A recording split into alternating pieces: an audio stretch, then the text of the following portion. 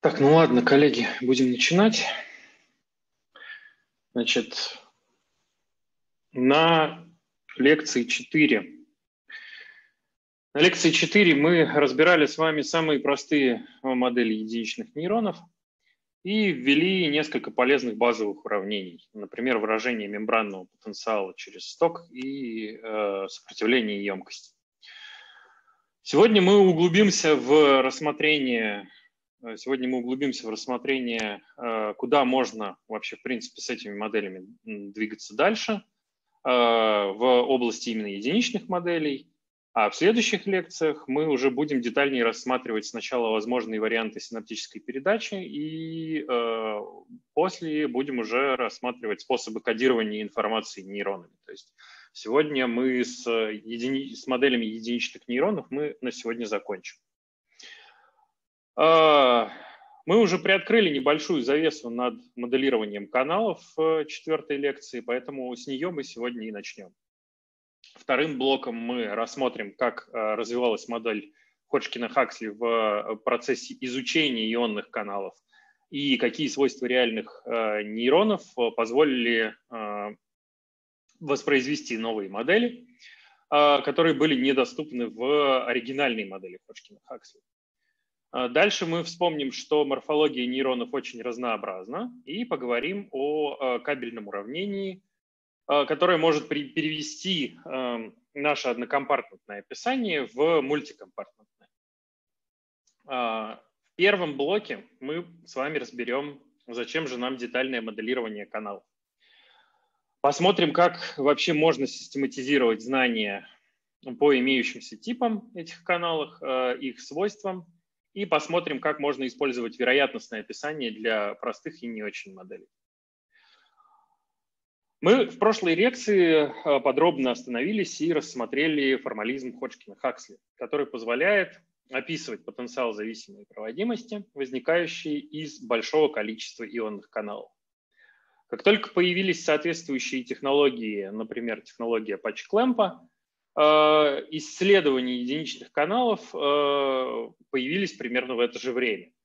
Они затрагивали в том числе переходы этих каналов в различные, каналов в различные состояния, э, и связано это было в первую очередь с их молекулярными изменениями.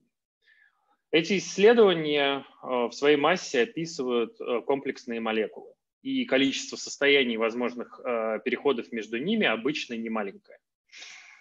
В этом разделе мы э, коснемся простых моделей, чтобы понять принципы их э, построения э, без сложных биологических деталей, а, которые вообще обычно нужны для более точных предсказаний.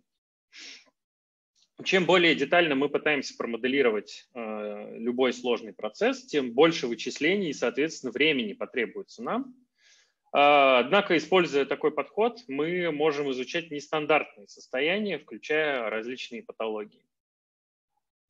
Ну и, конечно же, э, именно из понимания работы составных частей складывается общее понимание, какую функцию несут нейроны э, с разными пропорциями и вообще наличием тех или иных типов каналов. Э, в качестве примера можно привести NMDA-рецептор, активируемый глутаматом и пропускающий ионы. Данный процесс играет ключевую роль в синаптической пластичности, следовательно, и в процессах обучения и процессах памяти. Также существует теория, что НМДА-рецепторы являются активаторами перехода э, REM-сон и бодрствования. REM-сон – это Rapid Eye Movement, это быстрая фаза сна. Так вот, э, эти НМДА-рецепторы, они имеются далеко не у каждого э, типа нейронов, вот, и э, они достаточно э, хорошо локализованы. А, давайте вспомним, что из себя представляет ионный канал. Вот ионный канал а, с точки, ну, как бы именно с биологической точки зрения, биологический термин – это а, порообразующий белок. Он может быть одиночным, либо он может быть целым комплексом белков. А, эти белки а, поддерживают разность потенциалов, а, которая существует между внешней и внутренней сторонами клеточной мембраны и всех живых клеток. Относятся эти белки к транспортным белкам. С их помощью ионы перемещаются согласно их электрохимическим градиентам сквозь мембрану. Такие комплексы представляют собой набор идентичных или гомологичных белков, плотно упакованы в липидном бесслое мембраны вокруг как раз одной поры. Э, канал расположен в плазмолемме, то есть в плазматической мембране клетки и некоторых внутренних мембранах клетки. Это, например, мембраны эндоплазматического ретикулума и мембраны митохондрий. Э, канальные белки состоят из субъединиц. Это важно и нужно запомнить. Э, они образуют структуру со сложной, со сложной пространственной конфигурацией, то есть вот эти субъединицы как бы они играют как раз роль в открытии и закрытии э, этих каналов. Значит, э, в этой пространственной конфигурации, кроме поры, обычно имеются молекулярные системы открытия, закрытия, избирательности, инактивации, рецепции и э, регуляции. Ионные каналы могут иметь несколько участков так называемых сайтов – а, для связывания с управляющими веществами. Это если мы э, говорим о если мы говорим о легандозависимых ионных каналах. Значит, теперь давайте посмотрим, какие вообще типы каналов существуют. В целом можно их систематизировать по разным характеристикам. Например, по э, типу активности. Мы разбирали эти свойства на третьей лекции – Каналы могут быть активными, то есть потреблять энергию, э, и осуществлять перенос ионов против химического градиента в, данном, в этом случае. А могут быть пассивными и э, обеспечивать перенос согласно законам диффузии и осмоса. Э, вторым вариантом, как, это можно, как можно каналы классифицировать, это э, по гейтингу. То есть э, гейтинг-классификация позволяет нам отделить каналы а, которые у нас потенциал зависимый, то есть они зависят от изменения потенциала мембраны и в этом случае открываются, закрываются или инактивируются. Они могут быть лиганд-зависимые или липид-зависимые. Но и еще там есть некоторое количество вариантов. А, то есть сюда же можно отнести механочувствительные, температурно-чувствительные, протон-активируемые и комплексные, когда вам нужно несколько типов воздействия для того, чтобы э, канал перешел из одного состояния в другое. Можем разделять каналы по типам ионов. Это стандартный набор из ионов э, калия, натрия, хлора, кальция, а также протонов. А также существуют неселективные каналы, которые способны пропускать разные типы ионов. Нас в первую очередь интересуют каналы, конечно, плазматической мембраны, то есть той, что как раз определяет границы существования клетки. Но при этом различные отделы клеток тоже имеют свои мембраны. А, в них могут быть также э, локализованы э, каналы, вот, например, в эндоплазматическом ретикулуме. И на самом деле самый яркий пример – это митохондрии. Ну и классификация каналов может быть более специфичной. Мы э, не будем углубляться на, в этот вопрос сегодня, э, да и вообще на этом курсе мы не будем в него больше углубляться. А, но, например, э, классифицировать можно каналы по длительности ответа на стимуляцию. Для каналов характерна в первую очередь ионная специфичность.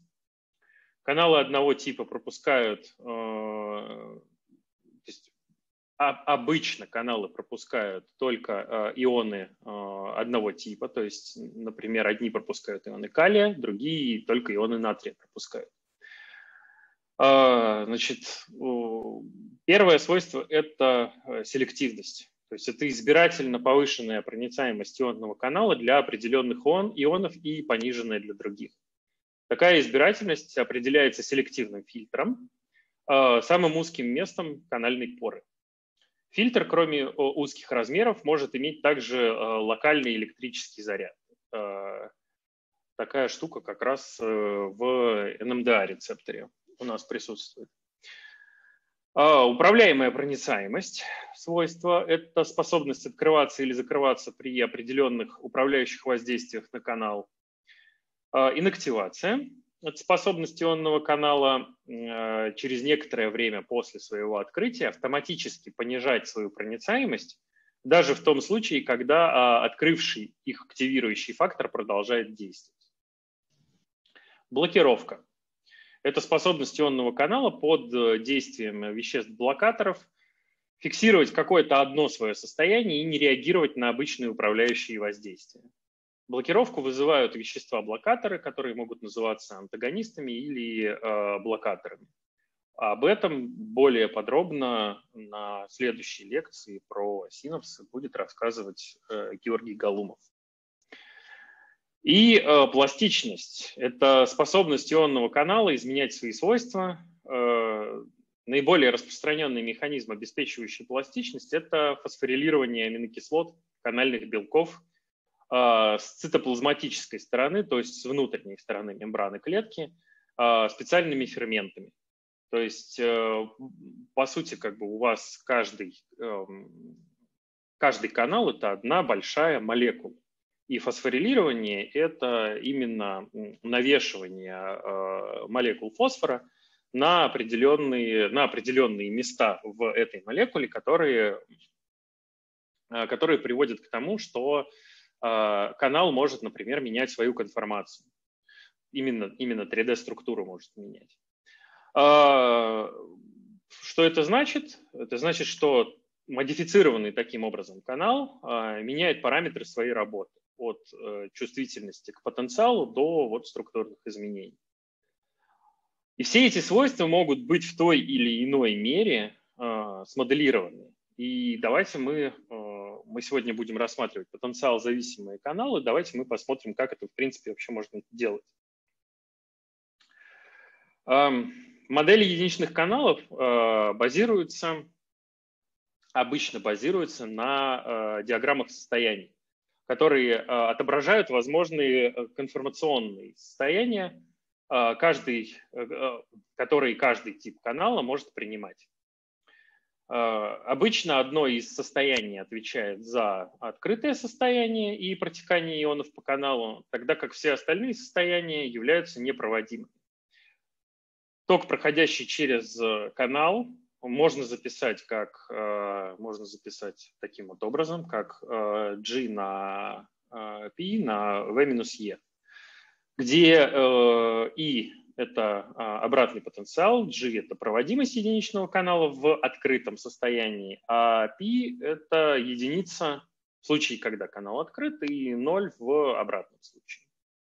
Модель канала может быть э, создана непосредственно из э, диаграммы состояний, просто благодаря отслеживанию э, этого состояния во времени и добавлению стохастических изменений с правдоподобными скоростями перехода между этими состояниями.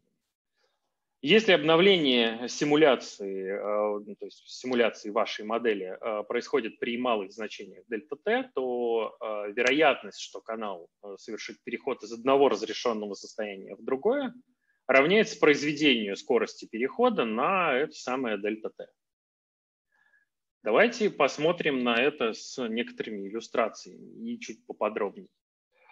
А, данный слайд демонстрирует э, как раз вот такую а, диаграмму состояния и результат симуляции для э, модели канала а, калия отложенного выпрямления, которая тесно связана с макроскопическим описанием э, проводимости.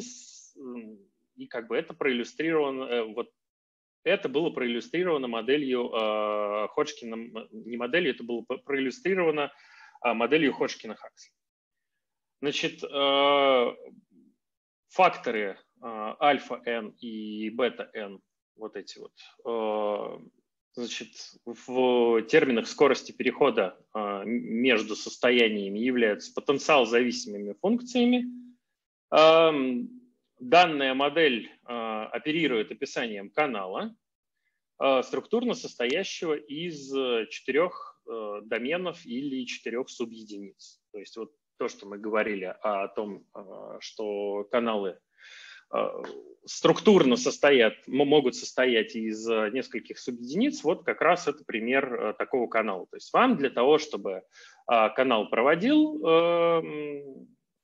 чтобы он проводил ионы, вам нужно, чтобы все четыре субъединицы были открыты. Именно поэтому у нас с вами здесь, по сути, пять состояний, в котором, то есть на этой диаграмме первое состояние, в этом состоянии все четыре субъединицы закрыты, все четыре гейта этих субъединиц закрыты. А, состояния 2, э, 3 и 4 описываются как, значит, как открытые 1, 2 и 3 субъединицы.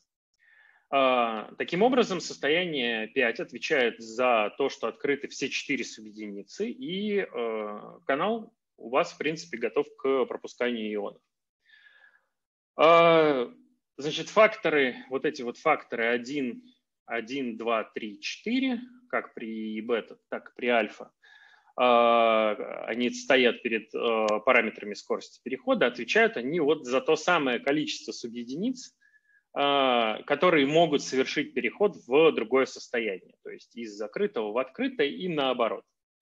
А, например, скорость перехода из э, состояния 1 в состояние 2 в 4 раза выше, чем из состояния 4 в состояние 5. А происходит это потому, э, что для перехода из первого во второе состояние вам достаточно, чтобы открылась любая из четырех доступных субъединиц. Тогда как э, при переходе из четвертого в пятое состояние требуется, чтобы открылась одна оставшаяся субъединица. Ну и э, нижняя панель, еще раз повторюсь, э, лек, с лекции 4, значит, эта панель э, показывает, как э, увеличение количества моделируемых каналов приближает нас к макромодели. Для одного канала, для 10 каналов и для э, 100 каналов. Чтобы увидеть, как модель канала на предыдущей диаграмме воспроизводит результаты модели Ходжкина-Хаксли, когда суммируются токи из многих каналов, мы должны рассмотреть вероятностное описание модели этого канала. Обозначим вероятность э, того, что канал находится в состоянии К через э, PK, где K – это 1, 2, 3, 4 и 5. А, то есть это то количество состояний, которыми мы можем оперировать. А динамические уравнения для этих вероятностей легко получить, э, установив скорость изменения для данного PK – равной вероятности выхода из состояния k, э, из, вернее, из входа, из вероятности входа в состояние k из других состояний в единицу времени э, за вычетом скорости выхода из состояния k. Э, вероятность входа в единицу времени – это произведение соответствующей скорости перехода и вероятности того, что состояние, которое выполняет переход, занято. А вероятность выхода в единицу времени равна pk, умноженному на э, сумму всех скоростей возможных переходов э, из этого состояния, из текущего состояния.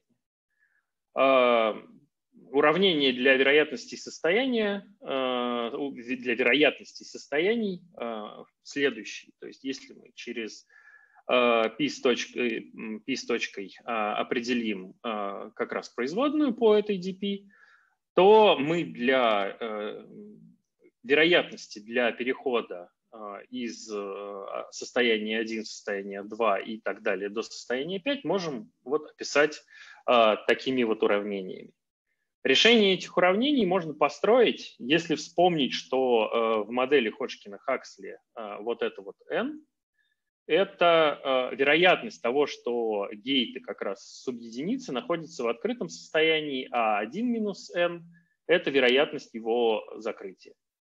Если мы используем тоже обозначение, как и в модели Ходжкина-Хаксли, то э, состояние 1 имеет 4 закрытых гейта, э, следовательно, P1 э, равно единице минус n в четвертой степени. Состояние 5, э, открытое состояние, имеет 4 открытых гейта, поэтому P5 – это n в четвертой степени. Состояние 2 имеет один открытый гейт, который может быть любой из четырех субъединиц, а три закрытых состояния, что делает, ну, имеет, э, да, состояние 2 имеет один открытый гейт, и может состоять, то есть он может быть, этот гейт, любой для четырех. И, он, и мы имеем три закрытых состояния. То есть P2 у нас в этом случае получается 4n на э, 1 минус n в кубе. Да. Так, ну и так можно на самом деле рассчитать для любого состояния. То есть здесь на самом деле приведены, э, то есть это вот, э, на слайде это p с точкой, а э, я сейчас говорил про вот эти вот каждую конкретную P1, P2. Вот. Э, в модели, в модели э, проводимости по натрию Ходжкина-Хаксли предполагается, что процессы активации и инактивации действуют независимо. То есть здесь мы смотрим на слайд, ну, вернее, на панель B, которая ответствует как раз за временную проводимость канала натрия. Это, как вы помните, из четвертой лекции постоянная проводимость по калию. Нас интересует как раз э, вот сейчас вот эта схема. Значит, э, схема на этом рисунке, она изображает механизм, который, как э, считается, отвечает за инактивацию и показывает, что э, вообще предположение о том, что процессы активации и инактивации действуют независимо, оно неверное. А шарик, то есть вот этот вот шарик, который инактивирует канал, расположен внутри клеточной мембраны, где на него через мембрану может не напрямую влиять тот же самый потенциал. А, кроме того, в этой схеме шарик не может занимать пору канала до тех пор, пока не откроются ворота активации, что э, делает два процесса э, взаимозависимыми. То есть когда у нас activation gate закрыт, мы, то есть вот мы не можем находиться в состоянии инактивирован. А, и давайте посмотрим на диаграмму состояний. То есть это диаграмма состояний поинтереснее, чем для э, калиевого канала. А, просто потому, что у него есть эм, больше возможных переходов и, в принципе, состояние не только а, состояние открытия, но еще и состояние инактивированное. Значит, эта диаграмма отражает это за счет наличия механизма инактивации, зависящего от состояния и от потенциала. Представляет она собой упрощенную версию модели канала натрия, Э, разработана она была э, в 1991 году э, Потлаком. Последовательность переходов, которые приводят к открытию канала через состояние 1, 2, 3 и 4, она идентична таковой в модели Ходжкина-Хаксли. Скорость переходов определяемой, она также определяется функциями Ходжкина-Хаксли, это альфа-М и бета-М. От от потенциала, соответственно, и э, соответствующими комбинаторными факторами, то есть 1, 2, 3 и здесь для альфа то же самое. Состояние 4 – это открытое состояние, как видно из диаграммы. Однако переход в инактивированное состояние 5 сильно отличается от процесса инактивации в модели Ходжкина-Хаксли. А, инактивационные переходы в состояние 5 могут происходить только из состояния 2, 3 и 4. Э, а соответствующие скорости перехода К1, э, К2 и К3, изображенные вот здесь К1, К2 и К3, а, являются постоянными, не зависящими от потенциала. Э, процесс деинактивации происходит со скоростью Ходжкина-Хаксли э, из состояния 5 в состояние 3, вот со скоростью альфа-h. Так, по э, каналам, блок по каналам мы с вами закончили. Есть ли у вас какие-то вопросы? А вот, вот эти К1, К2, К3, вы говорите, они постоянные и не зависят от uh, потенциала, но при этом... Да, К1, К1, К2 и К3 от потенциала не зависят. А вот эти вот альфа и бета, они зависят в том числе от потенциала. Но при этом мы же говорили, что инактивация может происходить как бы из вот внешнего да, воздействия на а, ну, из-за потенциала, который, сейчас, как бы сказать, ну, короче, вот э, мы говорили о том, что вот на предыдущем слайде, э, да. что это вот инактивация может провоцироваться какими-то вот, ну, это, понимаю, внешними воздействиями, если я сейчас правильно понял. Ну, а, тоже изменением потенциала. Вот. Она может, э, она может быть э, как бы катализирована потенциалом intracellular, то есть внутриклеточным. А, а здесь, да, а здесь вот, то есть вот эти вот альфа и бета, они как раз зависят от э, функции, то есть от изменения потенциала э, именно самой мембраны. Вот, а э, получается, что К1, К2 и К3, они не зависят от потенциала мембраны, но могут зависеть от э, внутреннего локального потенциала. А, понял. Угу. Угу. Так. Окей. Поехали дальше. Значит, э, с единичными каналами мы с вами разобрались. Давайте мы перейдем с вами э, к моделям, основанных, э, основанными на проводимостях. То есть мы, в принципе, понимаем, что каналы у нас, каналы у нас могут работать по-разному, и типов этих каналов очень много – как мы можем добавлять эти а, токи в макромодель, ну то есть учитывать типы каналов, но уже на макроуровне. Значит, а, электрические свойства нейронов, они существуют как раз благодаря проводимости мембран с широким спектром свойств. Базовый формализм, о котором мы уже говорили, разработанный Ходжкиным и Хаксли для описания проводимости натрия и калия, ответственных за генерацию потенциалов действия – также используется для представления большинства дополнительных проводимостей, встречающихся при моделировании нейронов. А модели, которые рассматривают эти аспекты ионной проводимости, они известны как модели, основанные на проводимости, то есть conductance-based models. А, они могут э, воспроизводить довольно точно богатую и сложную динамику живых нейронов. А, в этом разделе мы коснемся, то есть мы начнем с однокомпартментных моделей – с тех же, которые рассматривали а, все это время до сих пор. Значит, при а, моделировании нейронов мы должны разобраться с двумя типами сложности. Сложным взаимодействием активных проводимостей, которое делает динамику нейронов такой богатой и интересной, и сложной морфологией, которая позволяет нейронам получать, интегрировать входящие сигналы от множества других нейронов.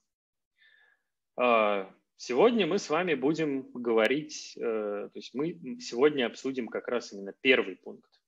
Вот э, конкретно в этом разделе. Про э, морфологию мы начнем с вами говорить в следующем разделе. Значит, модели нейронов варьируются от крайне упрощенных до очень подробных описаний, включающие тысячи дифференциальных уравнений. Э, выбор наиболее подходящего уровня моделирования для э, поставленной исследовательской задачи, он требует тщательной оценки э, доступной экспериментальной информации в первую очередь и четкого понимания целей исследования. То есть если вам нужно исследовать патологии в каких-то конкретных каналах, в какой-то конкретной проводимости, то вам эта проводимость, ну, нужна будет в первую очередь именно эта проводимость в вашей модели – если же вы э, хотите моделировать на более высоком уровне, например, мини-популяцию, как в мини-популяции распространяются токи без патологий, то, возможно, вам не нужны какие-то специальные проводимости.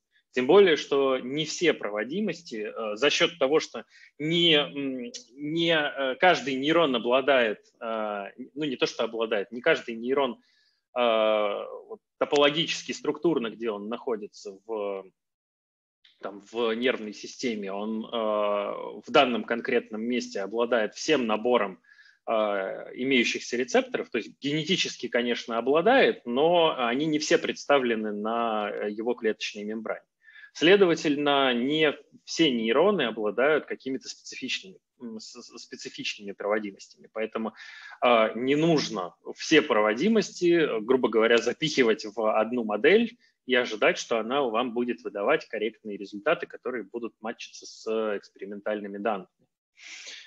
А, однако чрезмерно упрощенные модели могут э, давать вводящие в заблуждение результаты, э, а слишком подробные модели могут скрыть интересные результаты за несущественной и одновременно неограниченной сложностью. То есть если вы как бы впихнете побольше вот этих вот различных проводимостей в вашу модель, усложните ее через меры, то э, вы можете никогда ее не посчитать.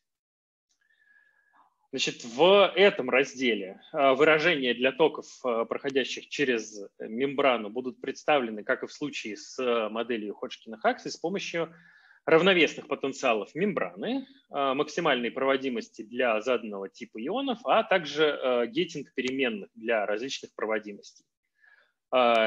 Им, этими гейтинг переменными как раз и будут оперировать рассматриваемые нами модели. Значит, э, гейтинг переменный и потенциал э, представляют собой э, динамические переменные, то есть они за, за, зависят от,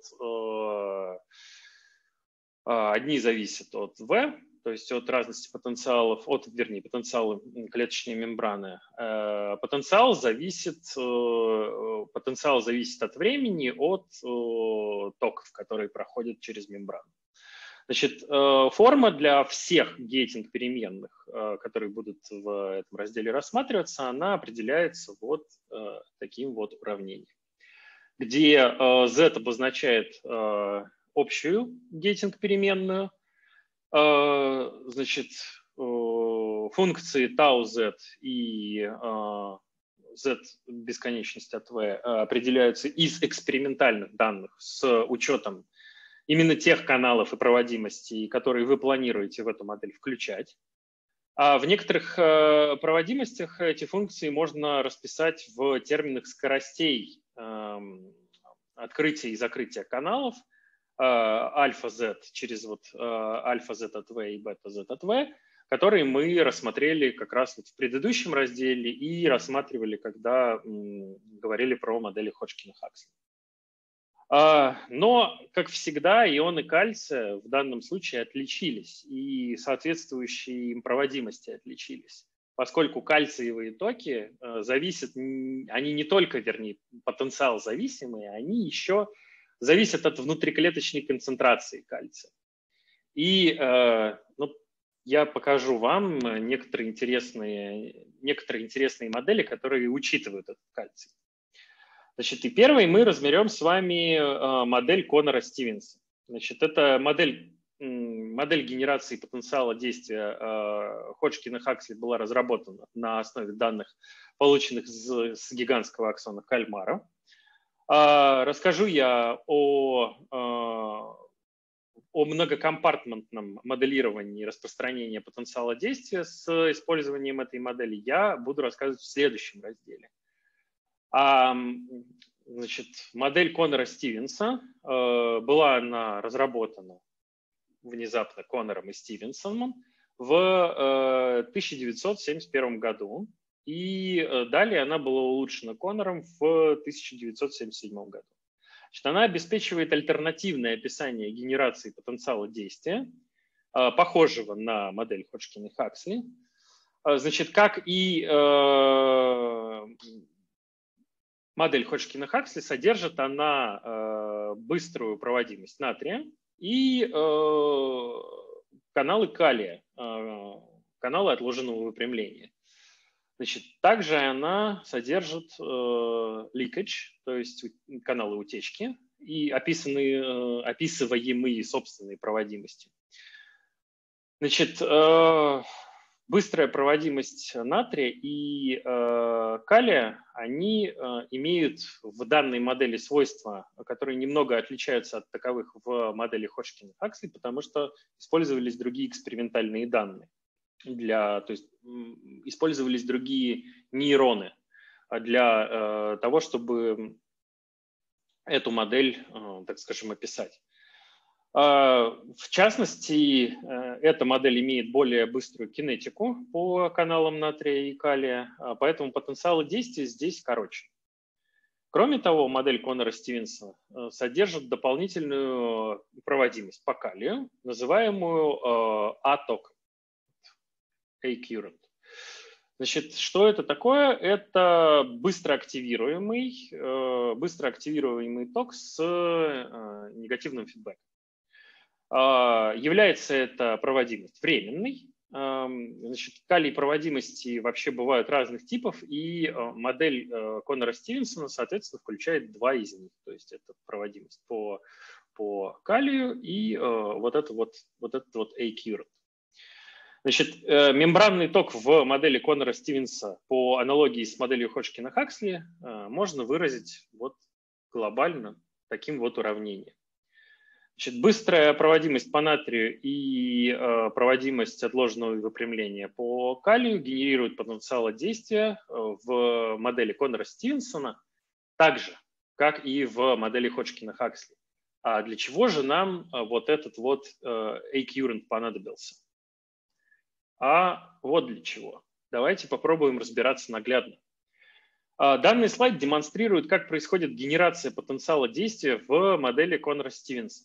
А, при отсутствии какого-либо подаваемого тока а, с электрода, либо же синаптического тока, мембранный потенциал остается неизменным на уровне минус 68 милливольт.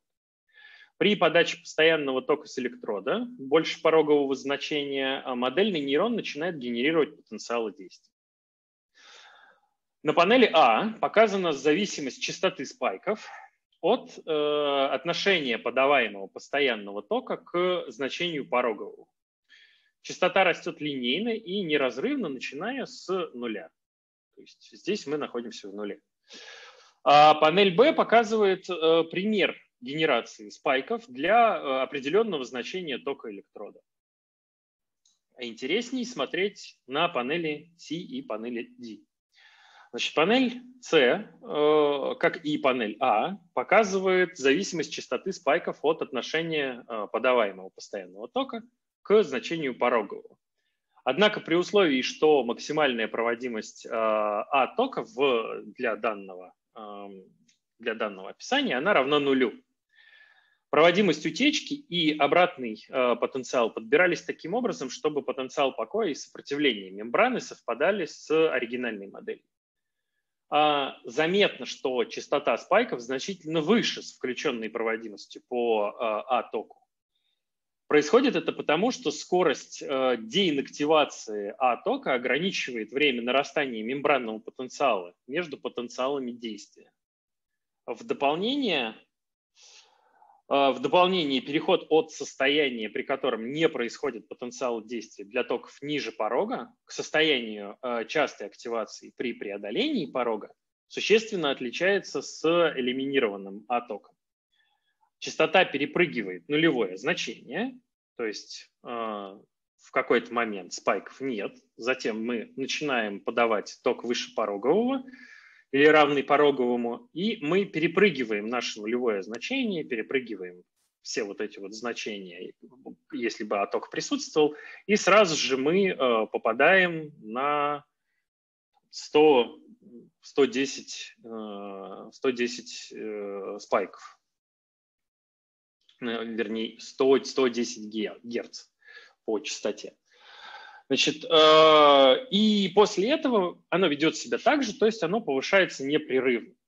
Значит, эм, нейроны, чья частота спайков растет э, непрерывно, как функция от подаваемого тока, называются первым типом. То есть это вот нейроны, которые ведут себя подобным образом. А те, у кого происходит первоначальный скачок, называются вторым типом. И э, на самом деле отток – это не единственный механизм, который может обеспечить э, поведение первого типа. Э, модель же Хошкина-Хаксли относится ко второму типу. Еще один интересный эффект оттока, он проиллюстрирован на панели D. Сначала модельный нейрон мы удерживаем в состоянии гиперполяризации, подавая на его мембрану отрицательный ток довольно продолжительное время. После чего происходит переключение э, с э, отрицательного на э, положительный ток, пока нейрон гиперполяризован, вот этот вот А-ток, он деинактивирован. Когда произошло переключение по знаку подаваемого тока и нейрон начал деполяризоваться, то А-ток сначала быстро активируется, а потом также быстро инактивируется. Это откладывает первый спайк, и при этом увеличивает межспайковую, э, увеличивает межспайковую частоту. Значит, диапазон ответов нейронов в модели Коннора Стивенса можно еще больше расширить, включив временную проводимость по кальцию. Подобная проводимость была смоделирована Маккормиком и Хьюгенардом в 1992 году. Основанием этом, этому послужили данные с таламических э, ретрансляционных нейронов. В мембранах э, нейронов обычно присутствует несколько различных э, проводимостей по кальцию. Они делятся на типы L, T, N и P. Токи по кальцию L типа зависят от потенциала и активируются при относительно высоком пороге. А инактивируются эти токи кальций зависимыми, а не потенциал зависимым образом. То есть это вот то, о чем я говорил, что не, не потенциал зависимая инактивация происходит, а инактивация происходит в зависимости от концентрации кальция. Значит, э, токи кальция Т-типа имеют более э, низкие пороги активации и являются временными. А, кальций проводимости N и P типа имеют промежуточные пороги и являются временными и постоянными одновременно.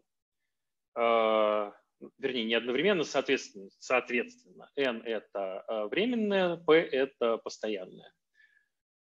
Они могут отвечать за вход а, кальция, который вызывает высвобождение трансмиттера на пресинаптических окончаниях. Об этом более подробно, я думаю, расскажет вам Георгий Галумов в следующей лекции. А, как вообще происходит высвобождение. А, то есть кальций играет роль в высвобождении нейротрансмиттеров.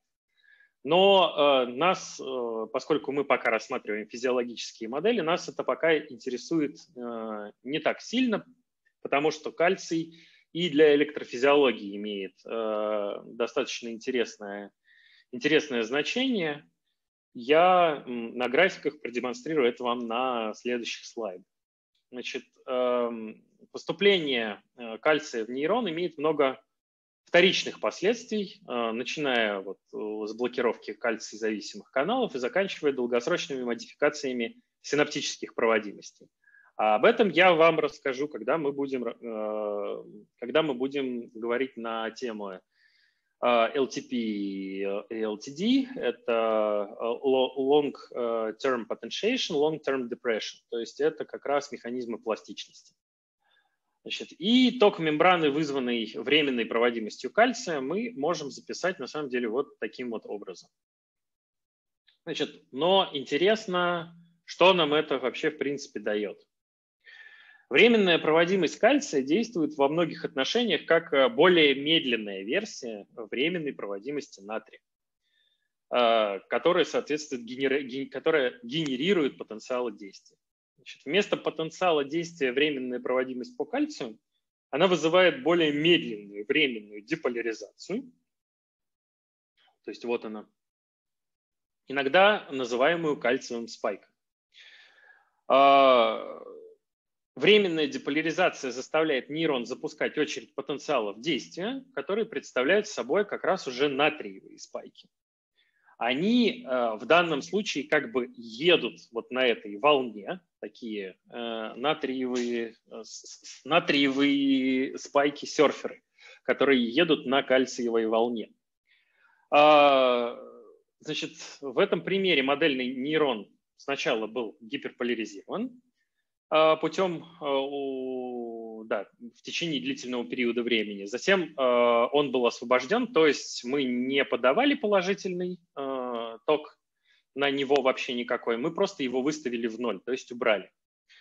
Во, временной, во время длительной гиперполяризации проводимость кальция она деинактивируется. Когда ток электрода устанавливается в ноль, Результирующая деполяризация активирует временную проводимость э, кальция и вызывает как раз именно взрывную серию, э, так называемый burst, э, вот этих самых потенциалов действия.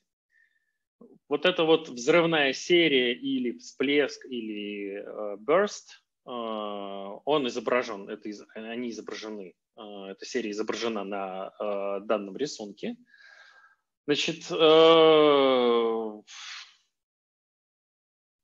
И она вообще возможна благодаря э, присутствию как раз вот кальциевой проводимости и э, того самого А-тока, про который мы говорили до этого, как раз в модели Конора Стивенса. Если туда мы добавим как раз проводимость по кальцию, прекращается же этот этот всплеск э, тогда, когда э, проводимость по кальцию деактивируется. И э, генерация потенциалов действия в ответ на высвобождение от гиперполяризации называется постингибиторным отскоком или пост, post-inhibition rebound, если вы будете смотреть этот термин на английском. А, в естественных условиях э, гиперполяризация вызывается обычно тормозящим синаптическим входом, а не инъекцией тока. А, про тормозящие воздействия мы э, с вами немножко говорили на третьей лекции. Я как бы тогда на примере э, латерального торможения вообще в принципе объяснял, зачем оно нужно.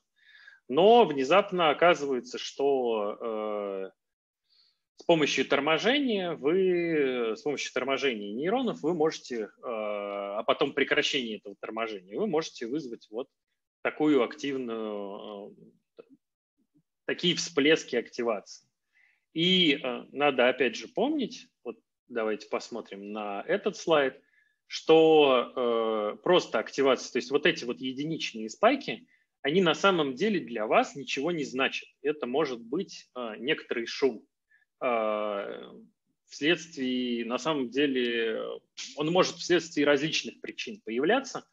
А вот э, такого рода, такого рода взрывная активность обычно нельзя ее назвать случайной. Она происходит из-за каких-то конкретных, э, совершенно определенных явлений в, именно в, в контурах нервной системы. Значит, э, временный ток э, по кальцию является важным компонентом моделей таламических ретрансляционных нейронов. Эти нейроны демонстрируют разные паттерны возбуждения как раз при сне и бодрствовании. Во время сна потенциалы действия обычно э, появляются сериями, то есть всплесками. А, и на данном рисунке показан как раз пример трех состояний активности моделей таламической ретрансляционной клетки.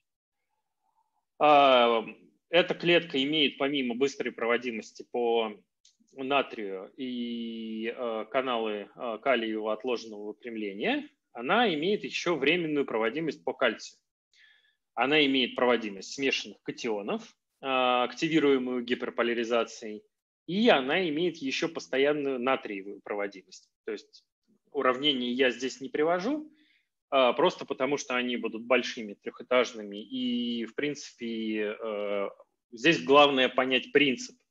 Я думаю, что э, принцип расширения модели, он уже более-менее понятен, поэтому мы смотрим на э, то, какие же, каких эффектов мы можем достичь, просто добавляя различные проводимости.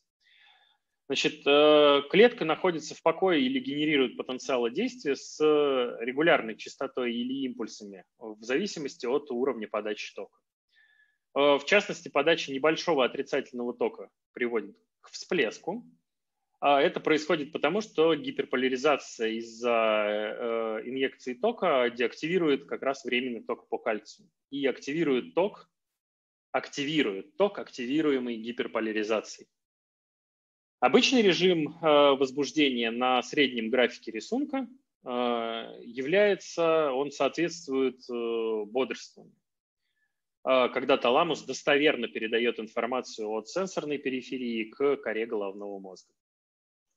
Ну и здесь есть еще вот такой вот слайд в этом разделе. Это периодический, как раз вот периодический периодическая всплеск, всплесковая активность э, в модели СТГ, э, стоматогастрик ganglion нейрон. Значит, э, нейроны могут генерировать потенциал действия либо с постоянной скоростью, либо импульсами даже при отсутствии ввода тока или синаптического входа. Периодические всплески – это общая черта нейронов в генераторах центральных паттернов. А, центральные паттерны – это э, нейрон, нейронные цепи, создающие периодичные паттерны активности для управления ритмичными двигательными, э, ритмичным двигательным поведением. А, что это значит? Что, что к этому относится? Ну, например, ходьба, бег, жевание. Это все периодическая двигательная активность. Чтобы проиллюстрировать э, периодический всплеск, мы как раз рассмотрим модель, построенную для сопоставления активности нейрона – с реальными в стоматогастральном ганглии ракообразных. А, это нейронная цепь, которая контролирует ритм жевания и пищеварения у лобстеров и крабов. Значит, STG э, – это модельная система для исследования влияния нейромодуляторов, а, таких как амины и нейропептиды, на паттерны активности нейронной сети. А, нейромодуляторы изменяют поведение нейронов и сети, активируя, деактивируя или иным образом изменяя свойства мембран и синаптических каналов. А нейромодуляция оказывает большое влияние практически на все нейронные сети, начиная от генераторов периферических двигательных паттернов, таких как СТГ, до э, сенсорных, моторных и э, когнитивных цепей мозга.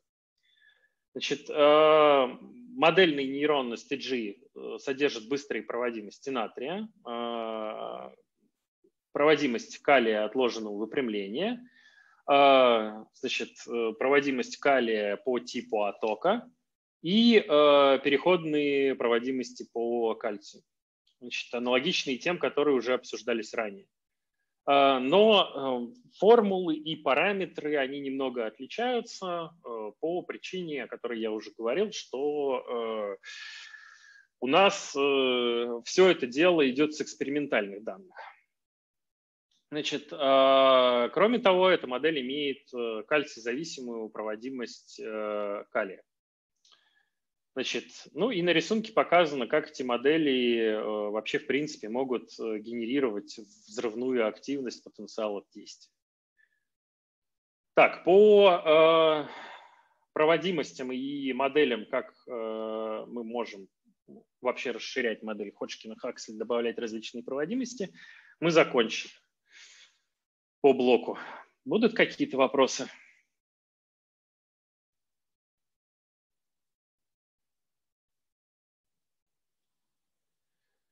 Так, окей. Ну и следующее у нас это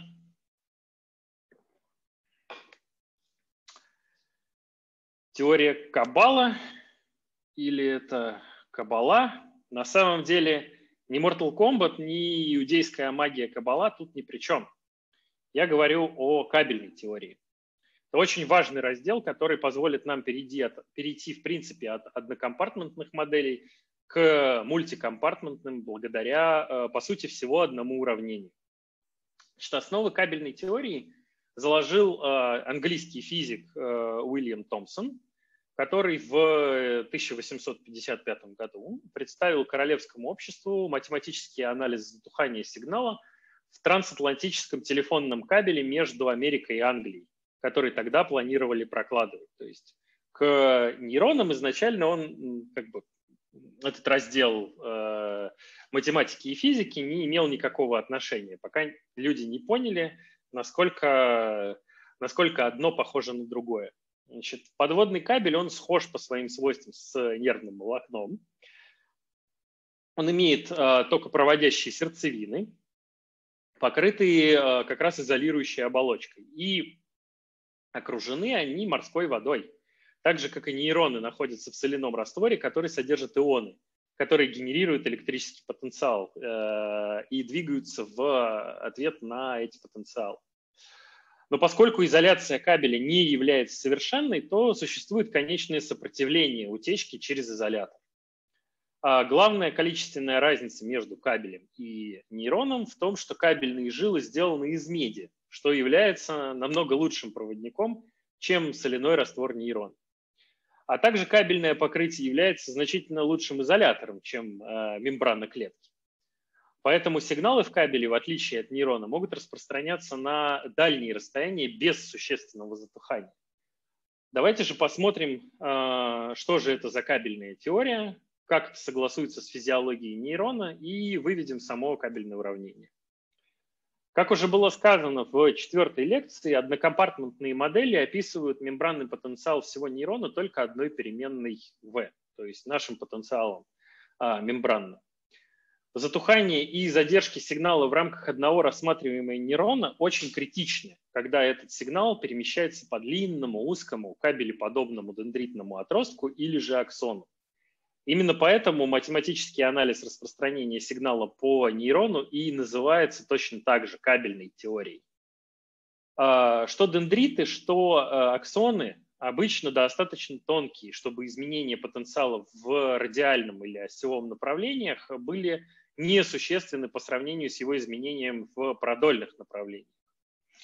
А, таким образом, изменение мембранного потенциала можно представить функций от пространственной координаты x и времени, то есть v от э, xt. Значит, э, данный слайд является наглядной демонстрацией, насколько важно помнить про различия в морфологии отдельных нейронов. Этот слайд демонстрирует морфологические различия дендритов пирамидальных нейронов.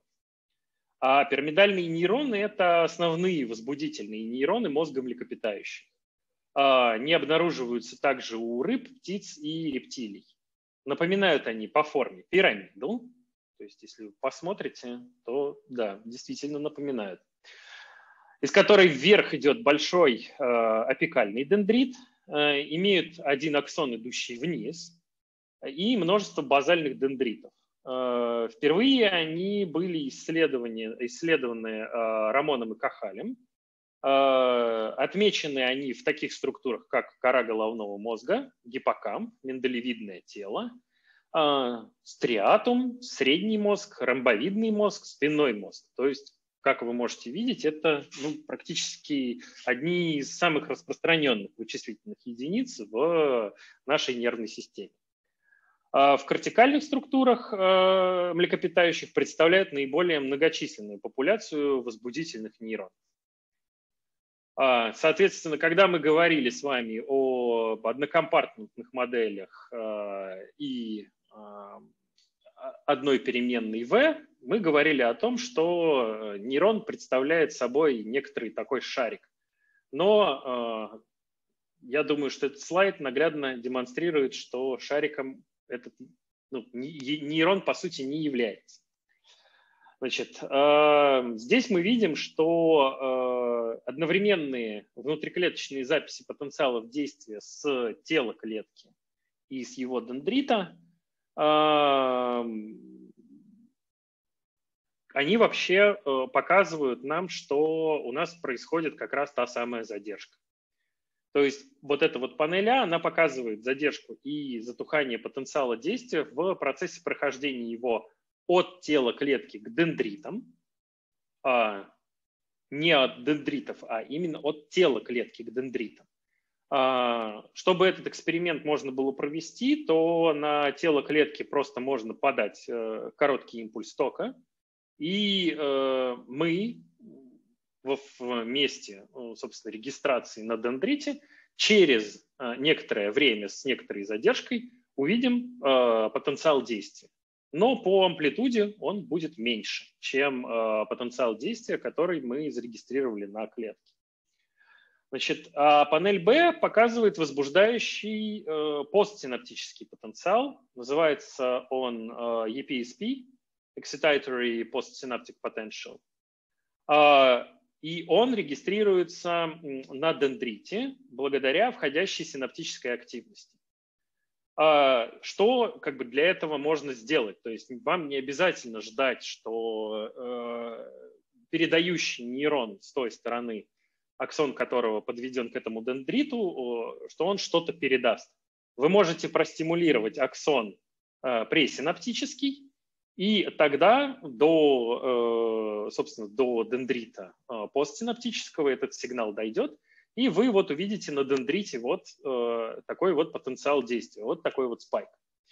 Значит, э, здесь мы точно так же видим задержку, э, задержку и затухание сигнала, но в отличие от А, э, данное затухание, оно существенно сильнее.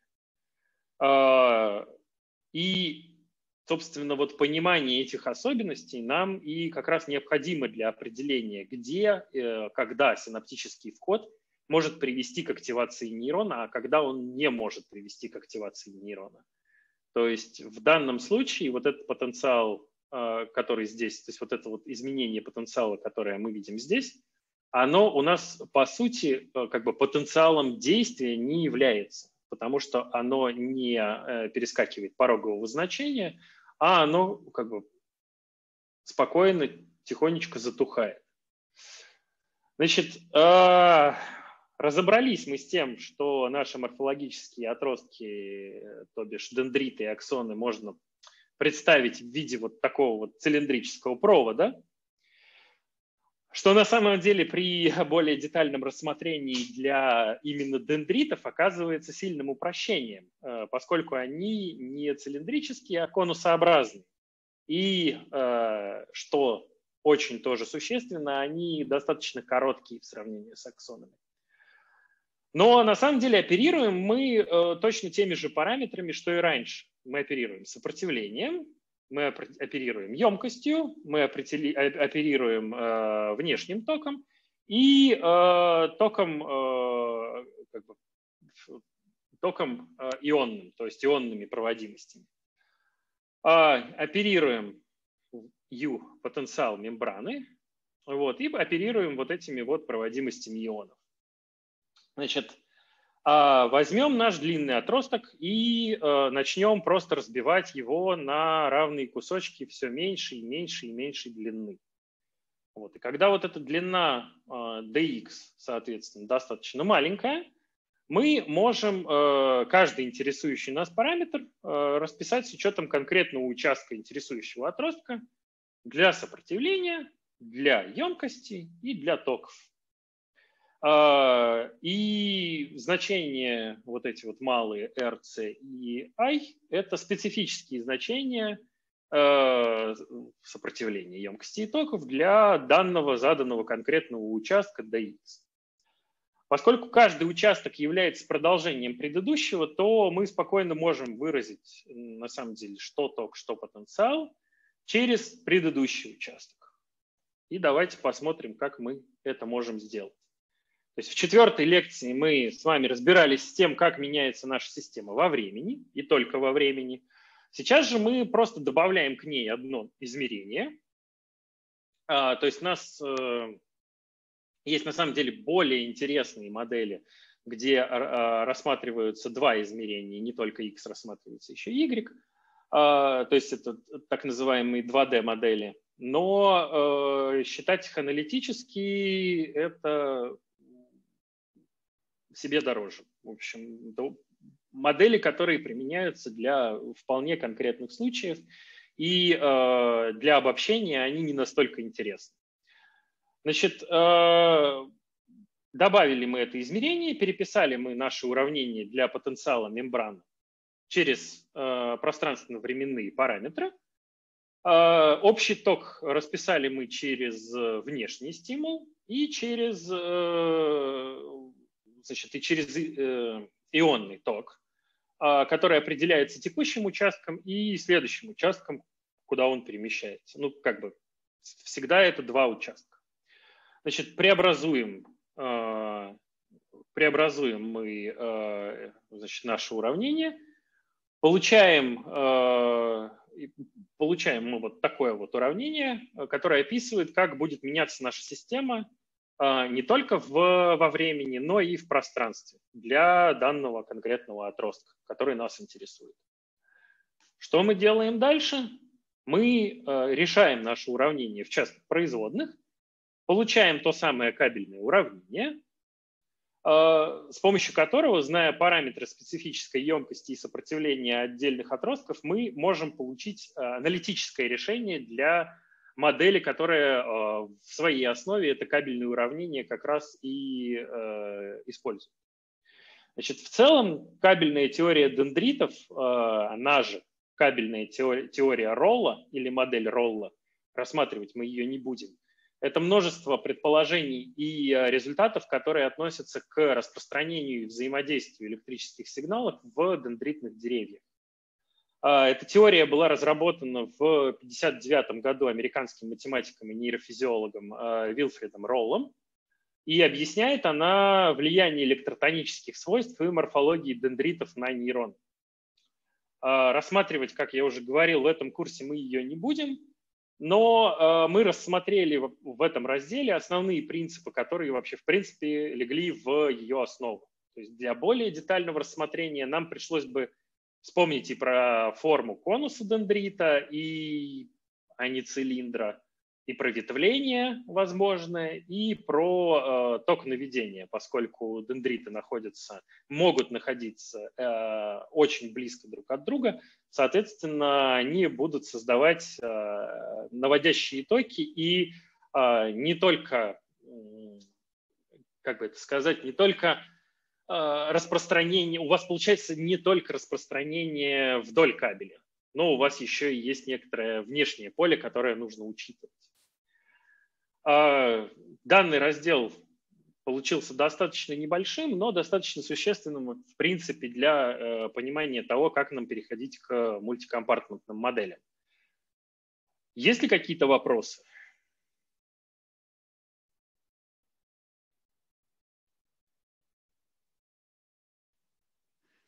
Окей. Вот мы и подошли вплотную к мультикомпартментным моделям.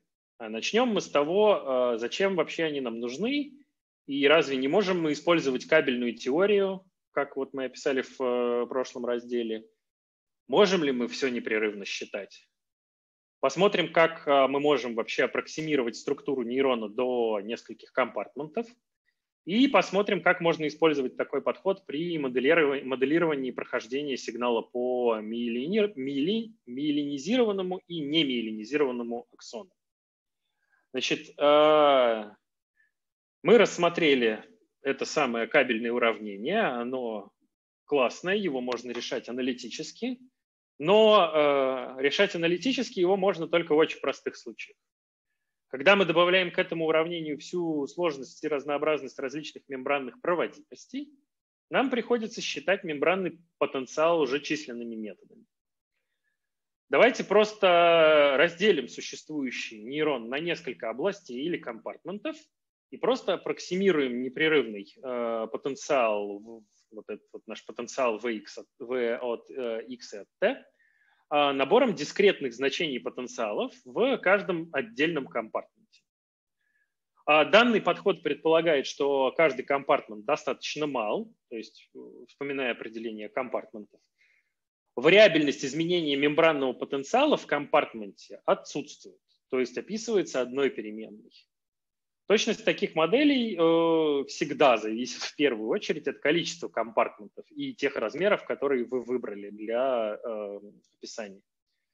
А, вернее, даже не самих размеров, а отношения этих размеров э, к константам длины, которые используются для описания электротонических процессов. А вот данный слайд как раз э, иллюстрирует э, схематическую диаграмму кортикального пирамидального нейрона, с набором компартментных аппроксимаций. То есть слева мы имеем вот этот вот наш интересующий нас пирамидальный нейрон с такой очень богатой морфологией. А дальше мы можем с помощью серии компартментных преобразований в итоге прийти э, к самому простому случаю однокомпартментной модели. Э, вот модели с таким количеством компартментов они на самом деле э, используются довольно редко и э, только в определенных случаях, э, когда в основном вы моделируете очень небольшие, ну то есть вы моделируете либо одиночные нейроны, либо э, моделируете небольшие популяции там, из десятка нейронов. А вот такие вот модели э, вы можете использовать вы можете использовать как раз уже для моделирования довольно больших популяций. Значит, ну и куда же без наших эквивалентных контуров? А, здесь э, мы видим, что э, в принципе каждый компартмент можно представить а, как раз в виде набора вот этих вот самых знакомых нам уже эквивалентных контуров. А, увеличенная область, то есть вот эта вот увеличенная область, как раз показывает ветвление дендрита, когда один отросток разделяется на два эквивалентных.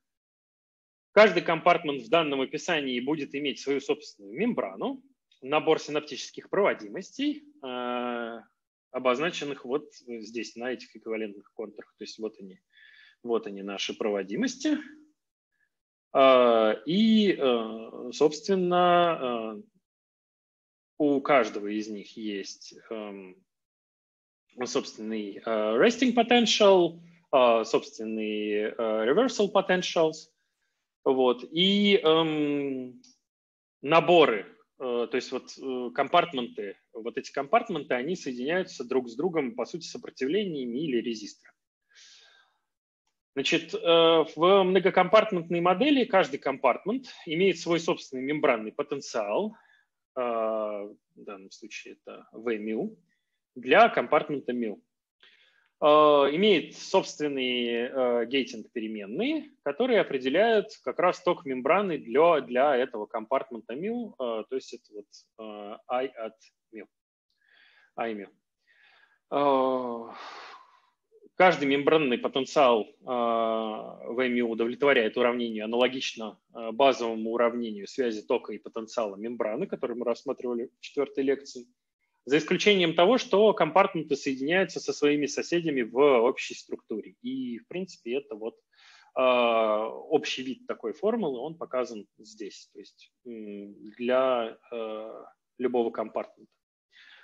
А, компартменты на концах кабеля имеют э, только одного соседа, следовательно, только один член заменяет э, два последних члена в уравнении. Для компартмента, в котором кабель разветвляется надвое, существует три таких члена.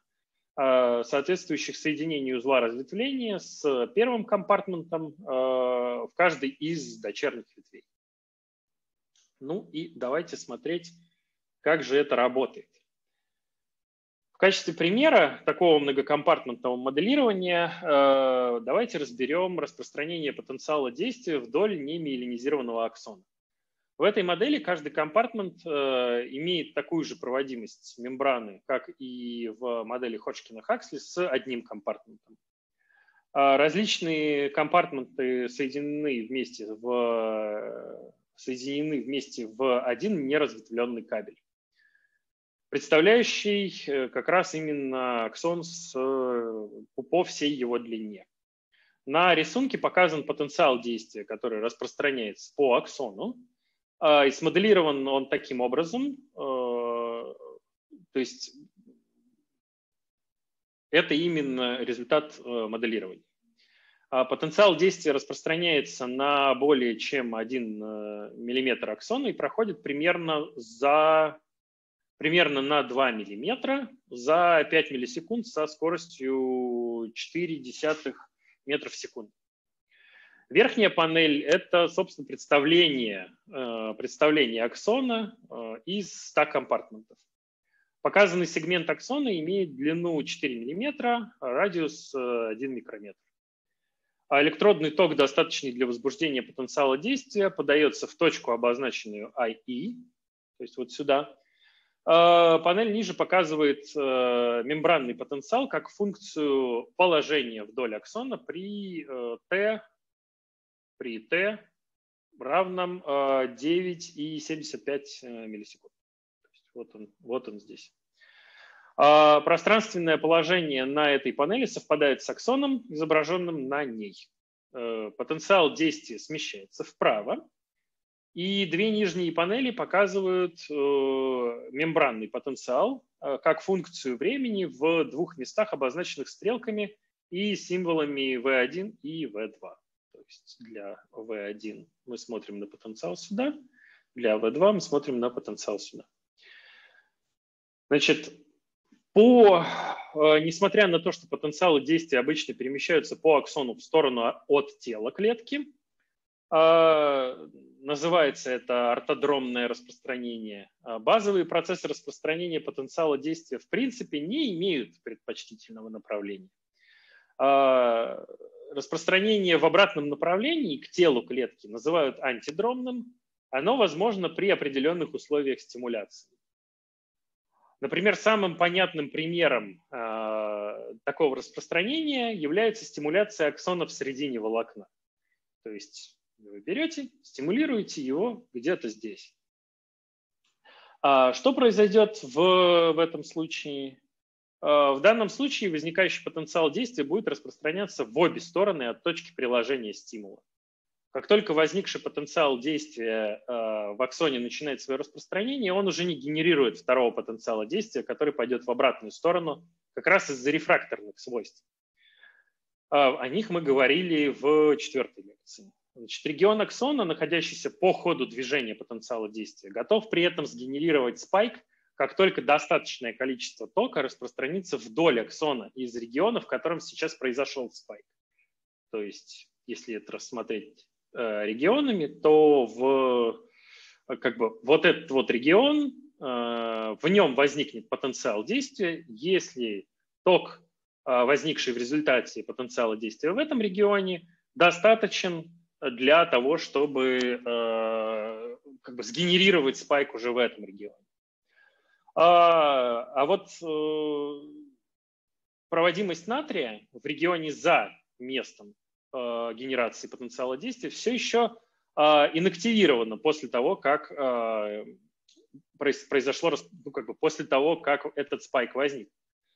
Таким образом, предыдущий регион не в состоянии сгенерировать потенциал действия, пока не закончится и тот самый рефракторный период. К моменту окончания этого периода для такого региона потенциал действия уже уйдет в, далеко в, вдоль а, аксона в другие регионы и а, никак не сможет повлиять на возникновение спайка в этом регионе. То есть только следующий, а, только следующий спайк из предыдущих регионов может опять привести его к возникновению потенциала действия в этом регионе. И есть у нас еще такая штука, как потенциал действия по миелинизированному волокну. Значит, как мы уже упоминали, неоднократно в этом курсе, большое количество аксонов позвоночных покрыто той самой миелиновой оболочкой. Оболочка эта э, не покрывает все тело аксона, и между миелинизированными участками существуют перехваты ранвье. Вот они схематически изображены здесь. Аксональная мембрана как раз в области перехватов ранвье э, содержит очень высокую плотность быстрых потенциал зависимых натриевых каналов. Миелин же повышает сопротивление э, мембраны и уменьшает ее емкость. Панель А показывает эквивалентный контур э, для мультикомпартментной модели миелинизированного аксона. Для расчетов емкости мембраны мы можем считать, что мембрана с миелином – это просто такая очень-очень толстая мембрана. Принимая во внимание такую геометрию, изображенную на панели B, миелиновая оболочка у нас начинается на радиусе А и заканчив... А1 и заканчивается на радиусе А2. А, в принципе, в этом случае мы мембран, э, емкость мембраны мы можем выразить вот следующим образом. Если в данных терминах теперь пересчитать линейное кабельное уравнение, я здесь тоже не буду приводить этого, поверьте мне на слово или посмотрите в книжку, а мы получим а, уравнение, которое будет эквивалентно уравнению диффузии. То есть, по сути, вот от этого перехвата до этого перехвата а, сигнал перемещается электротонически, а не благодаря перемещению тока, ну, то есть не благодаря возникновению потенциала действия вот в каждом мини-регионе мини внутри. Значит, и э, в, качестве, в качестве небольшого примера вот э, хочу привести вам, э, есть такая штука, как модель Хэя. Была она сделана в 2011 году, то есть э, после того, как э, Ходжкин и Хаксли сделали первую модель в 50-х годах, э, прошло значительное количество времени, а электрофизиологические модели продолжают делать с большим успехом. Значит, эм, в ней проведена э, достаточно детальная морфологическая реконструкция кортикального пирамидального нейрона 5B слоя. Состоит она из 200 компартментов, в ней реализованы дендритные ветвления и, распространение, и пространственное распределение ионных токов. То есть у вас какие-то проводимости могут находиться в одних компартментах, какие-то проводимости у вас могут находиться в других компартментах. Ну и включает она два типа натриевых тока, э, три типа калиевых, два типа кальциевых и еще один неспецифический ток. Ну и на этом мы вообще, в принципе, рассматриваем, заканчиваем рассматривать модели единичных нейронов. А все рассмотренные модели включали пока только электрофизиологию. А когда мы говорим о моделях нейронов, мы всегда должны помнить о базовых принципах электрофизиологии, потому что если вы вместо, например, экспоненциального убывания потенциала мембраны решите использовать какую-то другую функцию, то запомните, вы будете уже строить не модель нейрона. А, как видите, детализация и уровни моделирования даже единичных нейронов а, могут очень сильно отличаться. И изучение некоторых патологий нервной системы вообще связаны с дефектами определенных э, ионных каналов, то есть это дефекты определенных ионных проводимостей. И, как уже было сказано, сложная единичная модель далеко не всегда вам будет нужна для моделирования, например, тех же популяций нейронов. Но при этом даже простые модели должны согласовываться с экспериментальными данными, хотя бы в определенной части, как, например, модель Integrate and Fire. Она все еще подходит для моделирования подпорогового поведения нейрона, то есть она э, частично дает вам вот, как бы, вот этот самый частичный матчинг в поведении нейрона. Вот. Э, на этом, да, э, я бы хотел закончить. Если у кого-то есть вопросы, задавайте их.